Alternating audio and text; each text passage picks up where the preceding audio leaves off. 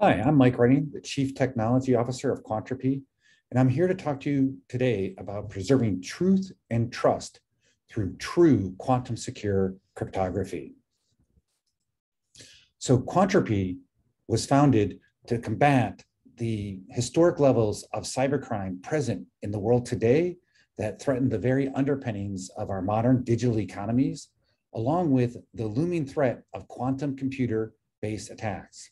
So our founders, Dr. Randy Kuang, who has a number of papers at the IEEE conference this week, and James Nguyen, created Quantropi specifically to preserve truth and trust now and forever. Now, a lot of talk has been out there in the press and in the industry about the rising quantum threat, in particular because of the great work of some of the world's biggest technology firms to bring quantum gate computers to life to solve many you know, business and scientific challenges. But unfortunately, there are algorithms such as Shor's and Grover's that make it possible to use those very same computers to attack the underpinnings of today, today's cryptographic standards, including both asymmetric encryption through RSA, as well as symmetric encryption such as AES. Additionally, new research suggests other forms of prevalent quantum computing such as quantum annealers from Canadian company D-Wave, can also be used in a potential attack against some of the candidates from NIST for post-quantum cryptography. So to ward off that threat while still being applicable today, we think that any complete or true cybersecurity system has to have three fundamental cryptographic capabilities. First, you have to establish trust using asymmetric encryption so that any two parties can trust each other via shared information or shared secrets. Second, uncertainty. You've got to push all the uncertainty to the attacker so that those parties can protect their data now and forever. And last, entropy, strong cryptographic keys, truly random, unguessable, uncalculable over a very large set so that brute force is impossible to achieve. So we're going to spend a little time talking about each of these areas, each of these building blocks, and going into a little depth on Quantropi's quantum secure solutions. So first, asymmetric encryption. Now, in the industry and literature today, there are really two predominant approaches to asymmetric encryption in the post-quantum world. The first is an infrastructure play with quantum key distribution using photonic entanglement. Challenge is new science, new tech, still in development, still really much a lab or experimental process. In fact, right now, NSA does not currently recommend its deployment for real world use scenarios. Alternatively, there's an algorithmic approach. You know, and this is the focus of NIST with post-quantum cryptography, where we place classic public key algorithms with new post-quantum key algorithms. But again, challenges like we just mentioned, where the annealers may be used to actually attack these new methods. But let's go a little deeper, right? NIST started the process in 2015 when they did a call for papers and a call for candidates. And through several rounds, including round three that wrapped up in 2020, they're down to four finalists with the expectation that the final candidate will be announced later in 2021. But as we look closer, Three of these four finalists are lattice-based approaches, and then classic McEliece is code-based. And in contrast to those, Quantropi is actually proposing our MASQ approach, which is actually a system of multivariate equations and has the strong attribute of quantum security complexity of OP squared, very substantial improvement in overall system security. So let's take a closer look lycanthropy mask. So first and foremost, any asymmetric, asymmetric encryption solution has to solve these, these um, differentiators and key attributes. First, um, that it sufficiently decouples the relationship between the public and private keys so you can never determine one from the other. Second, whatever you encrypt with it for the public key can never be extracted and third, and this one's a challenge, is to make sure that it's going to work in today's low powered or constrained devices the Internet of Things, because we all know that is that there are billions, if not tens of billions, of internet connected devices that need robust security, even beyond what we see in mobile phones, PCs, and other computer systems. And so the key differentiators of Quantropi are, as I mentioned already, quantum security of OP squared, of very small key sizes and key signature, and as well, the fact that we can run so efficiently that we can run on low powered or constrained devices. So let me tell you more about how we create this system. So there's a lot of math, but the great news is because we've had some fundamental mathematical approaches in the multivariate space, we can explain it at the level that even a high schooler can understand. So we start with a, a low degree polynomial pair, and the coefficients of this are going to be part of the private key. We then match that with a multivariate polynomial that has a sufficient order size, generally fourth or fifth, but such that n plus two is greater than five, because then math theorems tell us it is unfactorable uh, without all the coefficients. We take that system of equations and multiply it out to create a product of polynomials. And it's the coefficient coefficients of these products that is actually going to be the basis of our public key. But very importantly, we still put in our back pocket, we still hide the lowest order terms and the highest order terms in order to prevent factoring and Gaussian elimination from any cryptographic attack. We then pick two private random noise variables, which we use to construct a noise function, which we'll make public, again, to enable um, our partner to encrypt its secret. And last but not least, we do it over a very large prime number field in order to give ourselves sufficient computational space to make it again uncrackable regardless of the quantum compute power brought to bear. So we now see, as I mentioned, there's a public key consisting of an array of coefficients, again, withholding the lowest and the highest order coefficients and the two noise variable functions, the prime field P. Those are all published, put on the internet like any public key. Private key, secret coefficients that are held back along with those noise constants.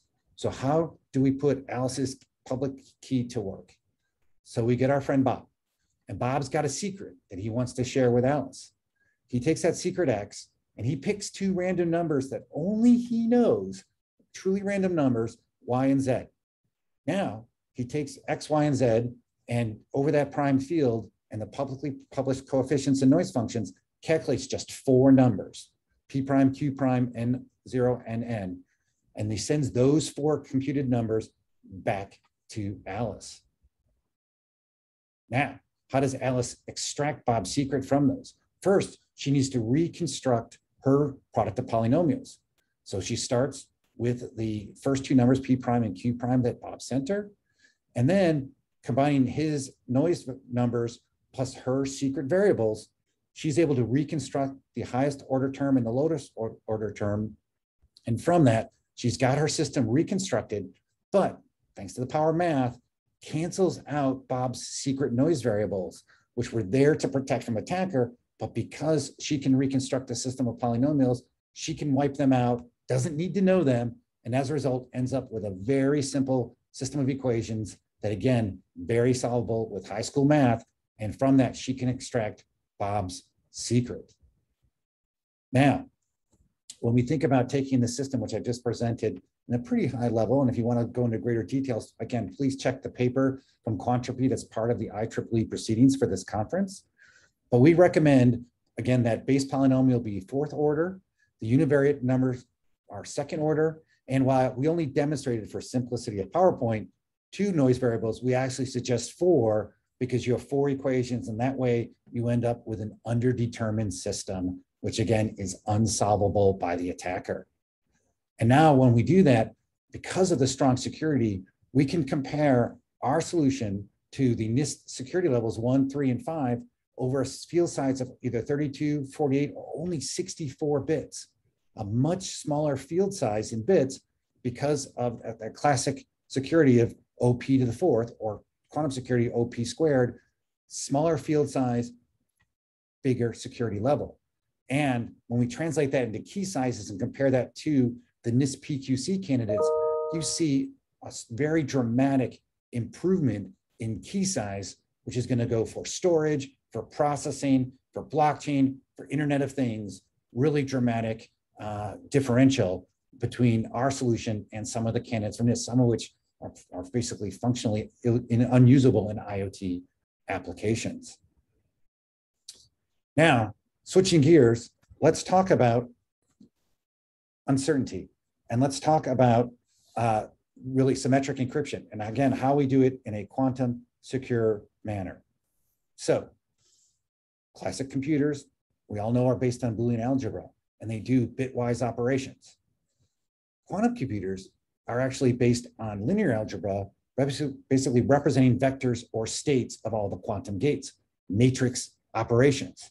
Bitwise operations becomes matrix operations. Single dimension becomes two dimensional. Computing power goes from two to the n to two to the n squared.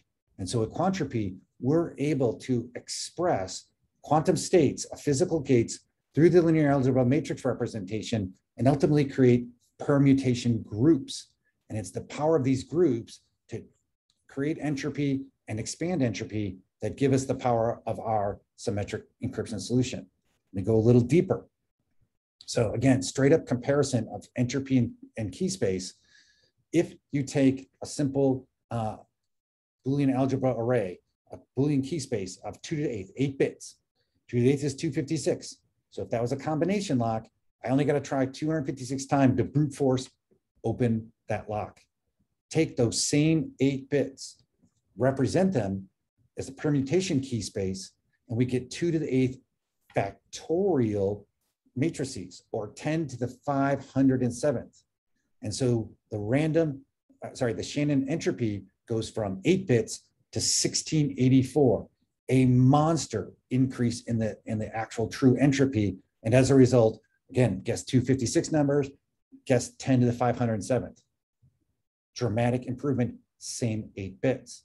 And so we now take those, those permutation matrices represent them in algebra, and therefore algorithmically, because it's linear algebra and it's elegant to compute and decode, it results in software libraries that are very small footprint, as small as 2.5 kbytes, that then when we run it head to head with AES 256, as much as 18 times faster than AES 256 with only 10% of the power utilization. And as you can see from the histograms, nearly perfect encoding or randomization of the plain text, resulting in ciphertext that is undecipherable, unfactorable, and basically impervious to anything but a brute force attack against a space that's practically infinite, giving us what we really want is that true uncertainty. And then last but not least, let's talk about entropy. Let's talk about strong random numbers. So true random numbers come from, from, from some physical source. Of course, starts with everything from uh, any kind of mechanical process to webcams and lava lamps. And we've seen in the last few years an upgrade to quantum random number generators that use different quantum physical processes, quantum tunneling or other things to actually generate a stream of nearly pure entropy. And in fact, Quantropi partners with Quintessence Labs for their PC board that generates strong quantum random numbers from physical processes. But as always, having a physical quantum device in every laptop, every mobile phone, every IoT device isn't yet practical. And so historically, folks have turned to pseudo random numbers where they can use an algorithmic approach, start with seed entropy, and then algorithmically expand it out. Challenges, as we all know from different operating systems, that there is a weakness to pseudo random numbers because ultimately they have what's called short periodicity, where they repeat after a certain period of time. They may have not, they may have some biases, lack of uniformity. You can have entropy exhaustion, all different reasons why generally for high security applications, they're not recommended. But now Quantropi is really excited to produce a paper that's again shared at this IEEE conference around pseudo-random quantum number generators where we are actually able to, again, applying our, our QPP algorithm in order to expand the entropy and approach an entropy state similar, if not nearly identical, uh, and sufficiently identical to true quantum random numbers from a physical source. And so when we start to compare it, uh, a lot of facts here, but what's most important is that uh, by being deterministic, a quantum or, or pseudo-random number or quantum pseudo-quantum random number generator can be reused and can be used as part of a pre-shared secret scheme. This is what you know QKD and other physical processes look to emulate, but also giant differentiator when it's pseudo quantum random numbers, we effectively have the same forward secrecy as physically generated numbers, a giant limitation of just plain classic pseudo random. So how do quantum we do it? Well, if we had a quantum gate computer, we could do it directly on the physical machine. But given those are still in development, we do it mathematically with that keep algorithm. And from there, we can generate those same 1684 uh, Shannon entropy. And in our case, our implementation, we implemented 64 8-bit permutation matrices. Net result is 10 to the fifth entropy of the algorithm.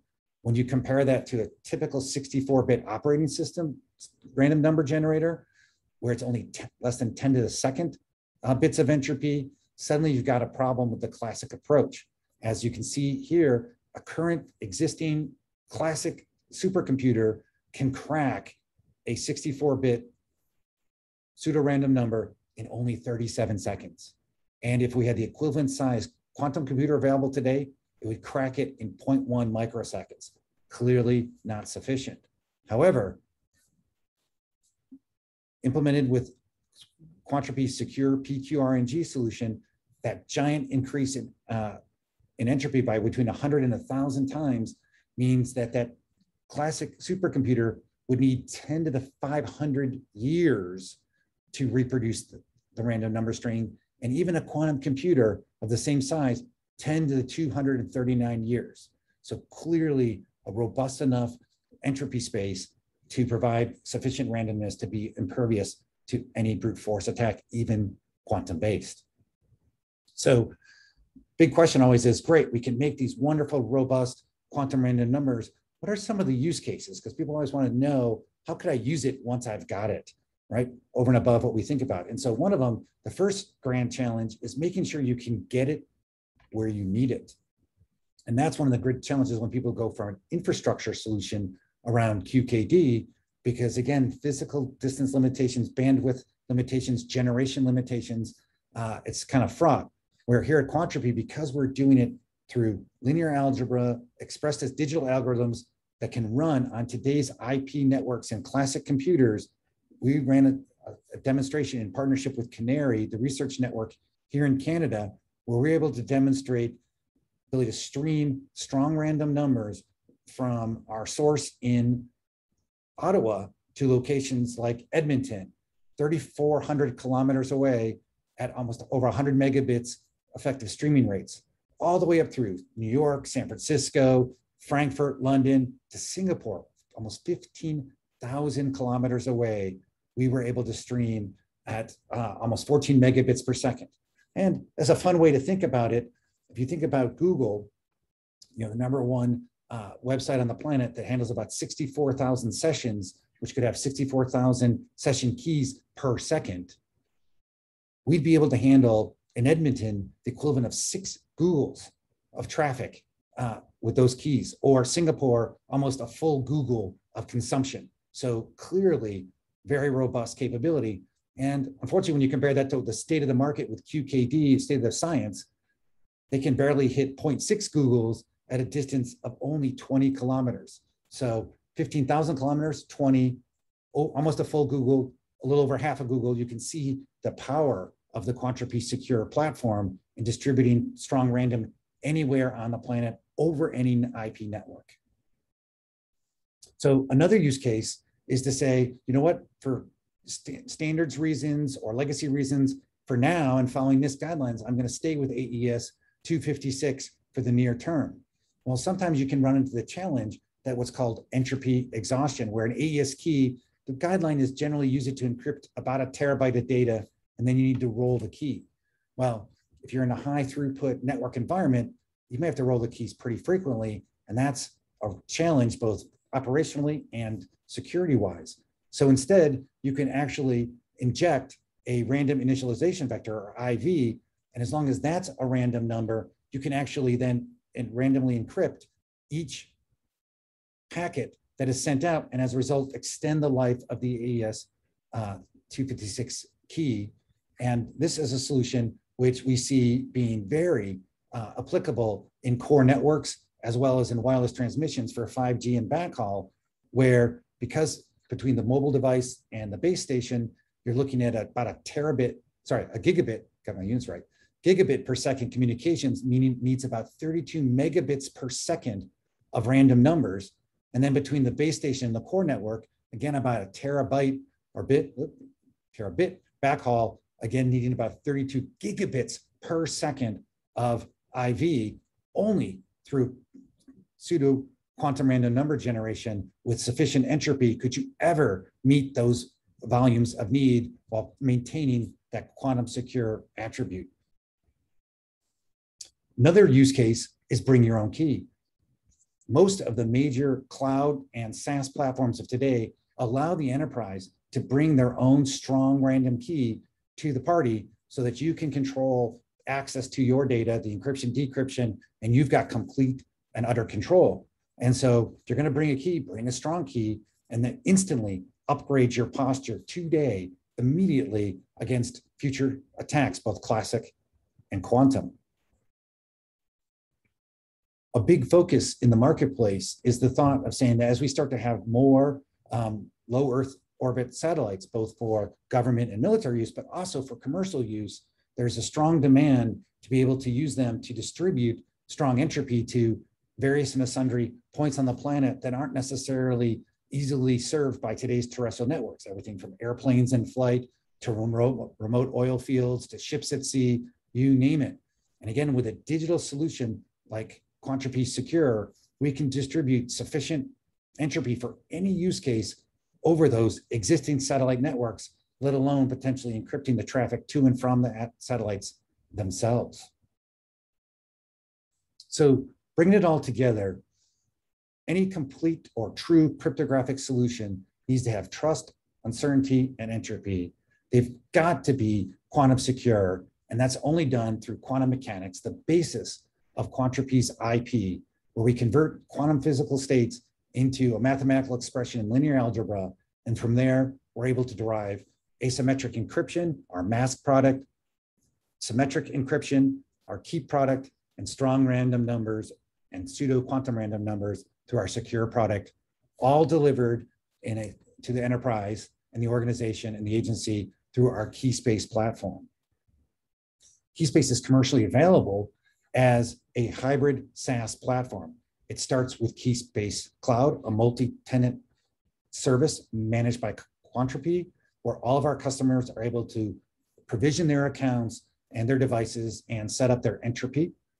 Then QiSpace Enterprise, which is installed on premise at our customers. There they receive the entropy from Quantropi, convert it into private quantum key material, and there provision end devices and users and manage their entire system.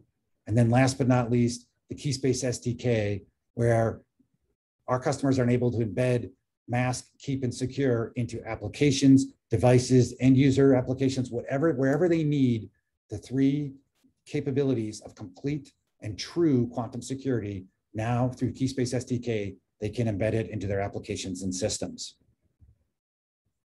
So Quantropi and our QiSpace platform defends against today's threats and tomorrow's quantum-based attacks. We can protect both data at rest and data in motion. We eliminate the threat of steal now and crack later as more quantum computing comes online. We're readily and easily deployable over your existing networks and system with minimal investment in new technology or infrastructure. And ultimately, we perform at the ultra high speeds and low latency and memory and compute that you would expect in today's modern digital world. All in all, Quantropi delivers true quantum security today and forever. You know, here at Quantropi, we're really excited to preserve truth and trust. We're excited about where the future holds. And we, as we always say here at Quantropi, bring it on. With that, I'm Mike Redding, Chief Technology Officer of Quantropi, and I thank you for your time. And of course, we're very happy to answer questions.